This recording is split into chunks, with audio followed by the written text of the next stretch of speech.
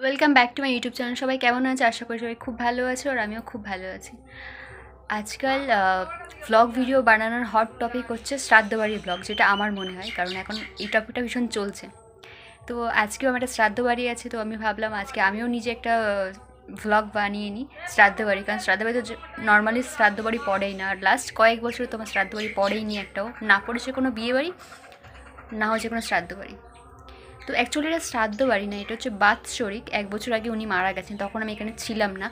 তো আর আজকে সকাল থেকে ভীষণ বৃষ্টি হচ্ছে। তো বৃষ্টির মধ্যে, কাদার মধ্যে তো আমি ভাবলাম যেহেতু যাব, তো একটু রেডি হয়ে নিই। তো তারপরে দেখা হচ্ছে তোমাদের সাথে।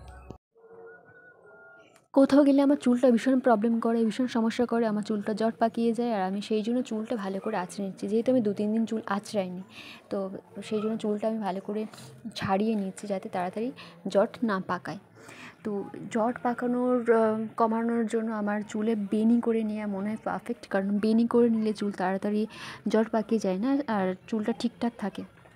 তো আমার বেনি করা প্রায় কমপ্লিট হয়ে গেছে। এবার আমি খুব বেশি মেকআপ করতে পছন্দ করি না। শুধুমাত্র আমি একটা কালো টিপ লাগিয়ে নেব কপালে, আর কালো টিপ লাগালে মুখের, মুখটা ভীষণ সুন্দর লাগে, ভরা ভরা লাগে। আর লিপস্টিক মানে তো ভীষণ সুন্দর, আমার লাল লিপস্টিক ভীষণ পছন্দ, তাই আমি হালকা লাল লিপস্টিক লাগিয়ে নেব। কারণ লিপস্টিক লাগালে মুখটা ভীষণ উজ্জ্বল লাগে ব্রাইট লাগে, আর মুখটা দেখতেও ভালো লাগে। লাল লিপস্টিক এমনি আমার অনেক পছন্দের লিপস্টিক আর একটু চুলটা বা বেনিটা যেহেতু পাতলা হয়ে গেছে, তাই বেনিটা পাতলা হয়ে যাওয়ার কারণে চুলটা একটু সেট করে নিচ্ছি বেনিটা একটু সেট করে নিচ্ছি নাহলে খুব পাতলা লাগে দেখতে, কেমন লাগে। তো লিপস্টিক লাগিয়ে আমার মুখটা এরকমই লাগছে। আর এখন শ্রাদ্ধ বাড়ি মানে ড্রেসটা সাদা সাদা ব্যাপারটা ভীষণ পছন্দের। কারণ শ্রাদ্ধ বাড়ি সাদা জিনিসটাই বেশি মানে তাই আমি একটা সাদা কুর্তি চয়েস করে নিয়ে পরে নিলাম। আর আমার এখন ফাইনাল লুক এইরকমই লাগছে। তো এবারে আমি বেরিয়ে পড়ব, বেশি দেরি করব না। কারণ অনেক অলরেডি বেলা হয়ে গেছে। তো আমি রাস্তায় বেরিয়ে দেখি বৃষ্টি হচ্ছে, তাই ছাতা নিয়ে বেরিয়ে পড়লাম। এসে দেখি, এই যে দিদা, এই দিদা আমাকে বারবার বলতেন কিরে তোর বিয়েতে কবে খাব? কিরে তুই কবে বিয়ে করছিস? কিরে ছেলে দেখব নাকি? কিরে কত দেরিতে খাওয়া দিবি? নানা রকম কথা বলতেন, আমার মাথা বিশাল গরম হয়ে যেত।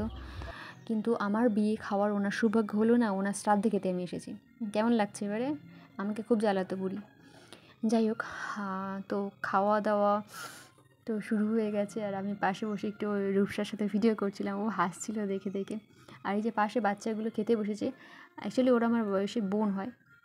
আর চিকেনটা ভীষণ শক্ত মানে আমি ভাঙতে পারছিলাম না, চিবাতে পারছিলাম না, এত বড় মানে শক্ত চিকেন আর রসগোল্লা তো কোনো কথাই হবে না, ভীষণ স্পঞ্জ টাইপের রসগোল্লা। আমার তো রসগোল্লাটা পছন্দের অনেক। যদিও মিষ্টি খেতে পছন্দ করি না বাট রসগোল্লাটা অনেক পছন্দের। কিছুক্ষণ খাওয়ার পরে আমার প্লেটটা ঠিক এই রকমই দেখতে লাগে, একদম পুরো জাবা খিচুড়ির মতো। আর এখনও অন্য সাইডে খাওয়া চলছে আর অনেকদিন পর ওদেরই বাড়ি। বেশ কয়েক বছর পর দেখাল তোর সাথে একটু ভিডিও